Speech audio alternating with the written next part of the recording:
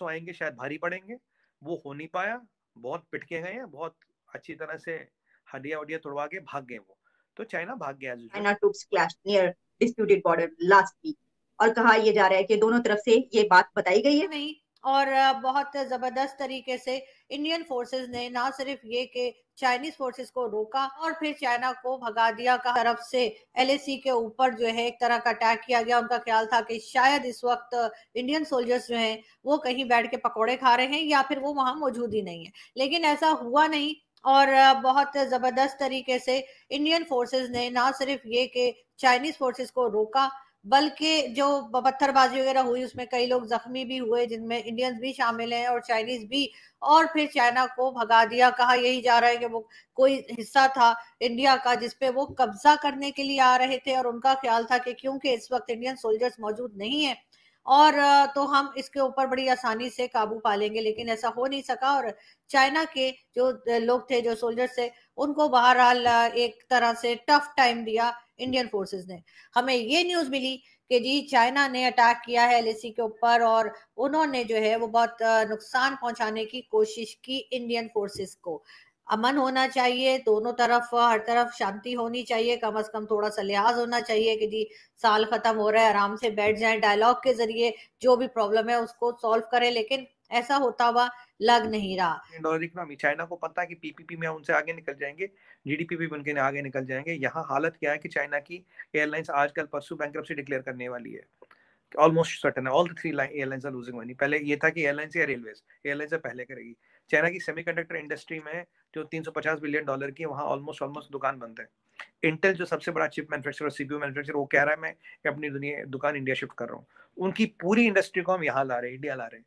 और अगर सेमीकंडक्टर रुकता तो आप जानती चाइना का एटी परसेंट एक्सपोर्ट जो है, वो इलेक्ट्रॉनिक्स है। और इलेक्ट्रॉनिक्स में बिना चिप के कुछ हो नहीं सकता। तीन ट्रिलियन डॉलर का झटका हुआ है। तो चाइना को झटके पर झटके लग रहे हैं और यहाँ पे ज़ीरो कोविड की पॉलिसी उन्हें रिट्रैक्ट करनी पड़ रही है। अब तो आप जानते हैं कि सौ से ज़्यादा यूनिवर्सिटियों में प्रॉब्लम थी, हर शहर में प्रोटेस्ट हुए।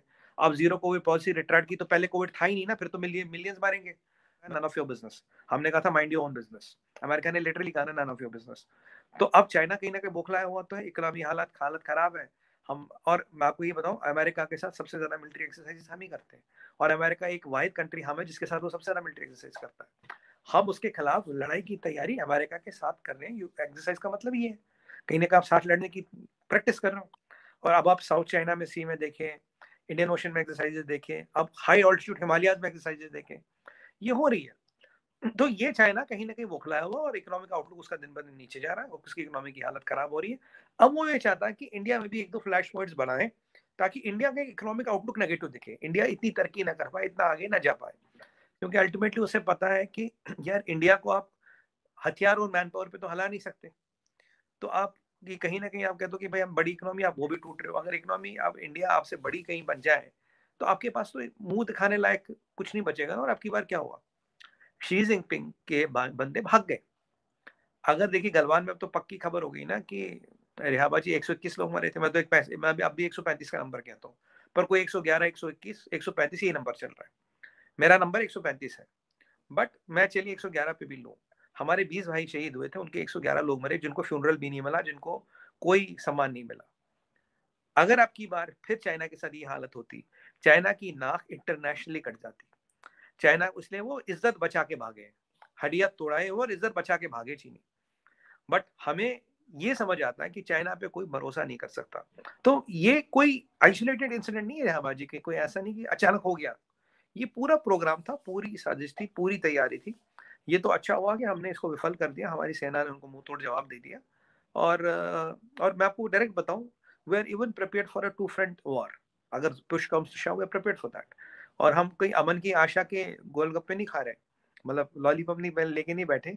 We have been we have been strengthening our forces Galwan से उससे पहले भी constantly India strengthening its forces on the both sides of the border और जो भी उसके लिए करना है, जो भी कर रहे हैं, वो कर रहे हैं और बिल्कुल खुल के, बता के, दिखा के कर रहे हैं हाँ चाइना पे भरोसा कोई नहीं कर सकता। चाइना पे खुद उगर भरोसा नहीं कर सकता चाइना पे हांगकांग भरोसा नहीं करता चाइना पे इनर मंगोलिया भरोसा नहीं करता चाइना पे ताजिकिस्तान मंगोलिया भरोसा नहीं करता चाइना पे तिब्बत भरोसा नहीं करता चाइना पे मकाओ भरोसा नहीं करता चाइना पे ताइवान भरोसा नहीं करता। ये सब उनकी अपनी टेरिटरीज है, अपने भाई बंधु है। तो जब वो उन पर भरोसा नहीं करते, हम कहाँ से कर लेंगे? जी। मेरा प्रोडिक्शन ये है, जितना शी पे प्रेशर पड़ेगा, आप देखेंगे एलओसी पे फ्लैश पॉइंट्स बढ़ेंगे। एलएसी पे फ्लैश पॉइंट्स बढ़ेंगे और एक साउथ चाइना सी में भी वो फ्लैश पॉइंट कर सकता है। क्योंकि अब क्या बोलेगा लोगों को? अब अपनी इज़्ज़त बचाने के लोगों को कहीं ना कहीं तो एक देखिए, आपको प्रॉब्लम को अपने कंट्री से बाहर ले जाना है। आप बाहर ऐसे ले जा सकते हो कि जी इंडिया के साथ लड़ाई, जी वो अमेरिका आ गया, जी वो कर रहे हैं, ये कर रहे हैं। वो लोगों का ध्यान भटकाने के लिए आप कुछ ना कुछ करोगे तब China troops clash near disputed border last week और कहा यह जा रहा है कि दोनों तरफ़ से ये बात बताई गई है कि ये एलएसी पर ये हुआ है। जो मामला है इस वक्त, आप इसको कैसे देख रहे हैं? कि अचानक से हमें ये खबर मिली। वैसे कहा जा रहा था कि पहले हुआ, लेकिन फिर इंडियन मीडिया ने इसको ओपन किया और उन्होंने बताया कि जनाब ये हुआ है जिसमें कहा जा रहा है कि कोई नौ के करीब सोल्जर जख्मी भी हुए सर, आपका क्या पॉइंट ऑफ़ व्यू है इस पर?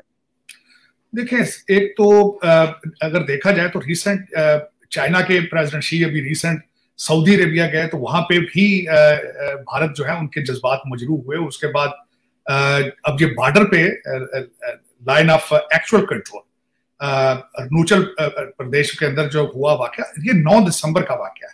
और इस वक्त जो भारत के अंदर से आवाज़ें आ रही हैं, एक तो वो सिर्फ़, ना सिर्फ़ इसको क्रिटिसाइज कर रहे हैं, बल्कि वहाँ पे बताना चाहूँगा कि इजलास जारी है वहाँ पे असेंबली का सर्दियों वाला। उसमें हैदराबाद से असदुद्दीन अवैसी साहब ने आवाज़ उठाई है कि हमें देर से क्यों बताया गया है? ये वहाँ पे झड़प तो शुरू हुई है।